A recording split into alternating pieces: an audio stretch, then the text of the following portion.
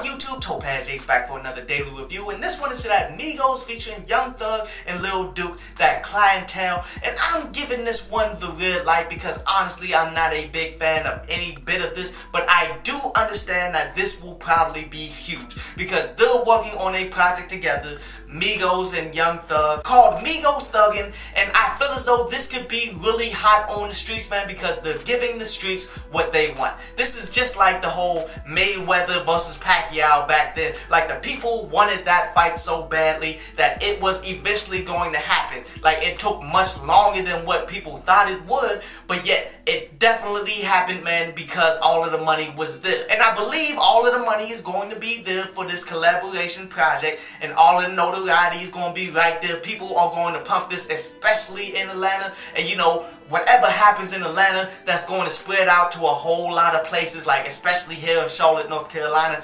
Everything that happens in Atlanta is popping here. And people are going to rock with it, and this project is going to be big. And you can tell they're definitely going all out here, man, as this production is a collaboration between Metro Boomin and Zaytoven, which they've collaborated before in the past, but yet these are like the heavy hitters of today's day and age of trap music that they got going down there, man. So they're sparing no expense and they're trying to do this on the level in which people perceive it that needs to be. Just to me, that production just feels more of the same. It's not anything unique different or even hotter than some of the previous stuff that they've done. And when you break down the concept of the song, it's very, very basic. It's ultimately just a bunch of trap balls as everybody's going in a separate direction as they're just talking about drug stuff. As Takeoff's lyrics is probably the best way to foresee that as he's really just more focused on his flow than anything. There's really no core punchlines or anything within there and he's just talking about just trap balls, just everything that happens in the trap lifestyle that people are promoting like that in the game. While Quavo had a quick moment up in here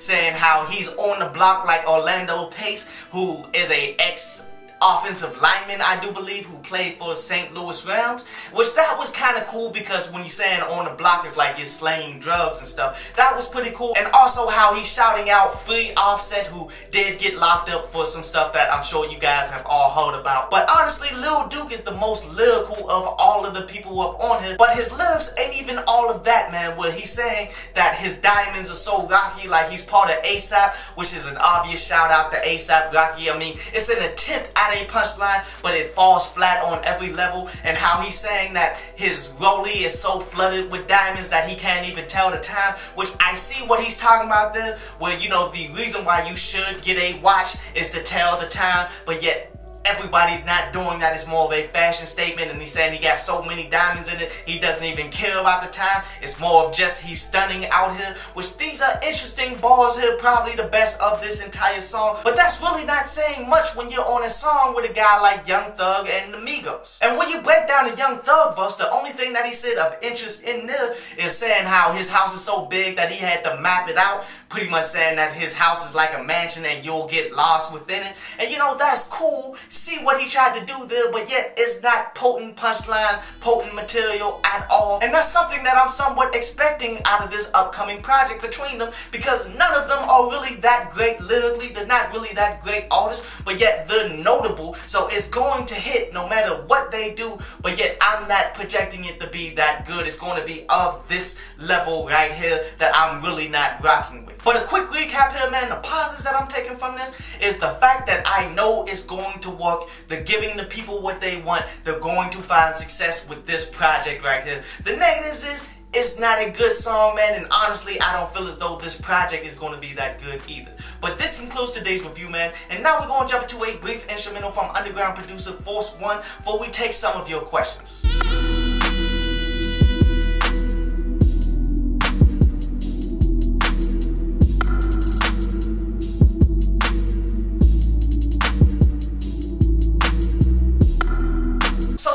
That a bunch of people have been saying, man, is that that Vic Mensa album was better than a lot of people perceive because he was doing a bunch of singing on there and people really don't want to give him much credit for the singing so he was kind of stepping out of his comfort zone but yet he did it pretty decent. He still needs to polish that up. But me personally, I'm not giving him any credit for singing when he's not a singer, when he's really not that talented with it. Like, here's something that Kanye West did when he came up in the game. Like he surrounded himself with talented singers like John Legend who did all of the background vocals so he could go ahead and sound like he could do a little something of singing.